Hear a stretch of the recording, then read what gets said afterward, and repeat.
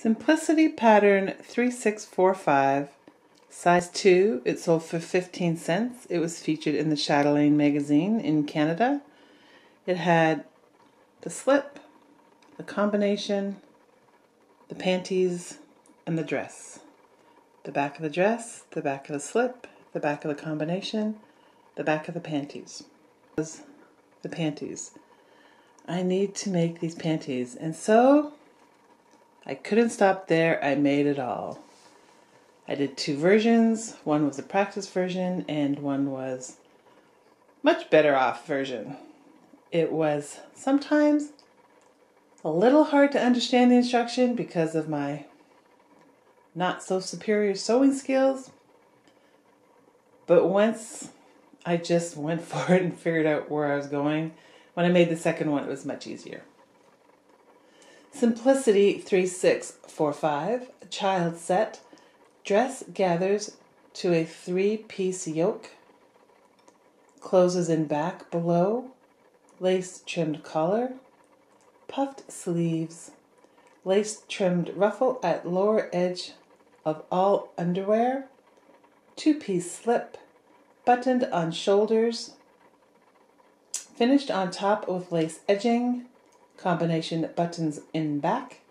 Two piece panties have elastic at back, are faced at crotch for reinforcement. Size 2 would have had a 21 inch breast with illustration, instructions for alterations, cutting, and sewing. These are all the pieces that you would need to make it. This pattern is from 1942. I think what caught my imagination was the colored green background with the little girls, and they were just too cute. Underwear really caught my interest in how it was made. They're actually very pretty. The first set I made with elastic all the way around because I didn't follow the instructions. And then I decided I think only elastic goes in the back and the front stays as such then the combination was the most difficult. And the most hardest part would be under the sleeve but above where the waist attached. So they tell you to make a lap, which is a piece of like 10 inch by 2 inch, which is actually kind of like a bias um, binding that you put along the inside right here on the combinations. But this combination underwear is so cute.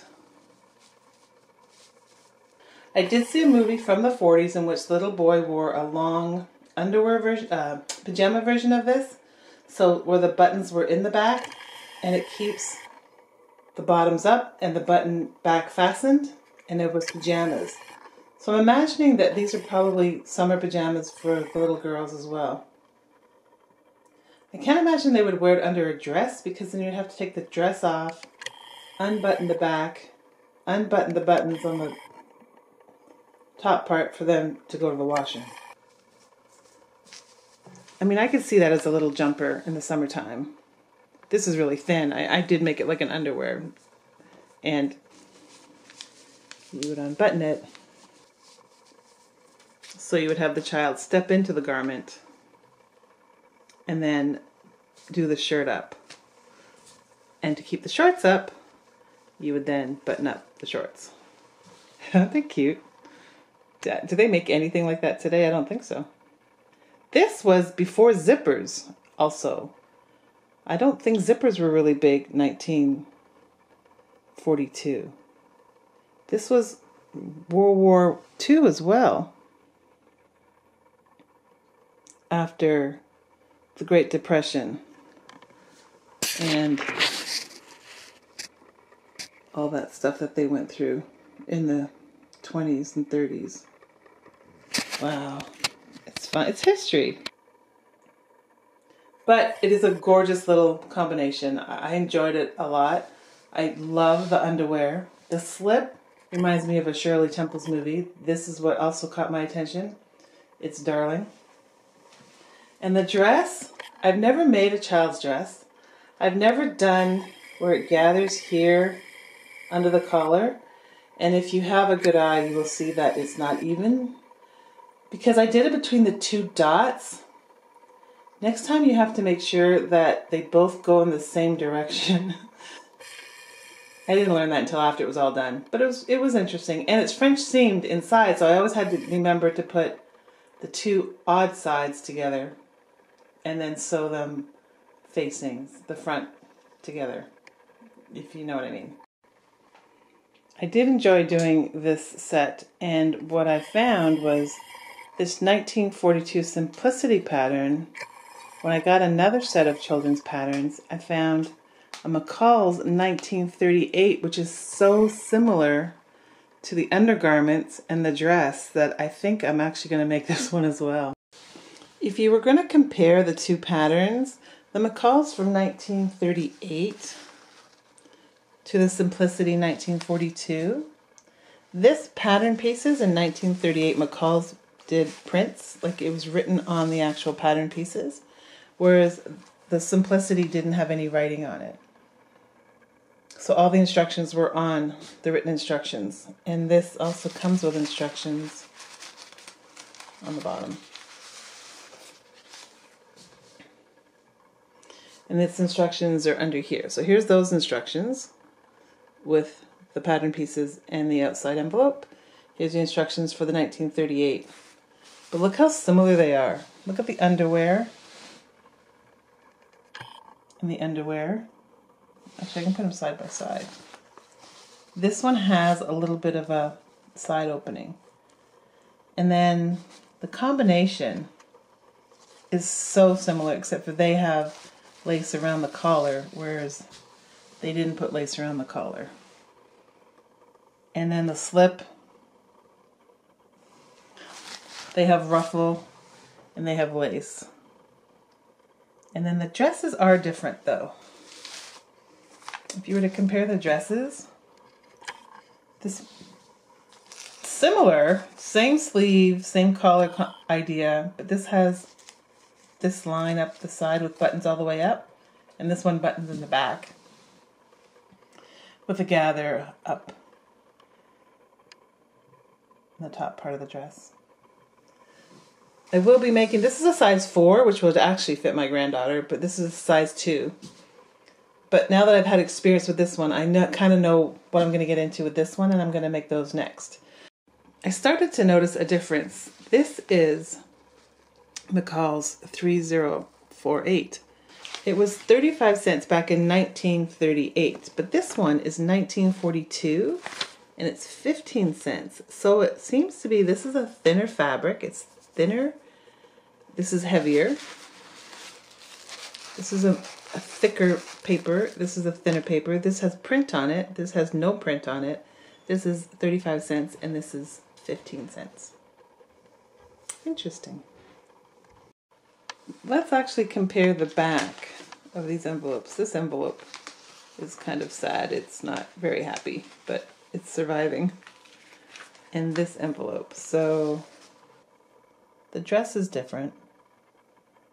A little bit. So the dress cutout versus the dress cutout, this one has a little bit more flare on the bottom, like it's a bit wider. So this is the underwear for the combination. And this is the underwear for the combination of the instructions for the McCalls, which is the more expensive one. And then the Simplicity, which is the 15 cent one. Oh, here we can see the underwear better. So there's the combination underwear on the McCalls. And there's the combination underwear on the Simplicity. If you turn it over, here's the Simplicity instructions and the McCall's instructions. I started to think about the differences of the two patterns, and if you think about 1938, the McCall's pattern that has the better quality paper and the print blueprint on the pattern pieces would be how it was probably done back in the day. But then when 1942 came on the horizon, Simplicity came out with a similar pattern that had the quality of paper which was much thinner and they didn't put the blueprint on top of the pattern pieces. And then, if you think about 1942, this would have been after the Great Depression and was World War II, so they were probably saving and using only the things that they needed to get the job done. And I wonder if all patterns reflected this or if it was based on the company's decisions on how to proceed with these environments. I'm making it because I wanted the adventure and the experience of working with these kinds of patterns and fabrics, and I enjoyed it. And when I'm done, I'll donate them to Goodwill, and I'm sure somebody would enjoy wearing them. Or they could send them to wherever they send them, and some little one's gonna have nice little underwear. That's what inspired the whole thing was the underwear. They don't have legs, like they just, and they have an extra padding inside in case you have a little pee pee accident. They're so cute. So keep inspiring, keep sewing, and have a great day. Stay safe.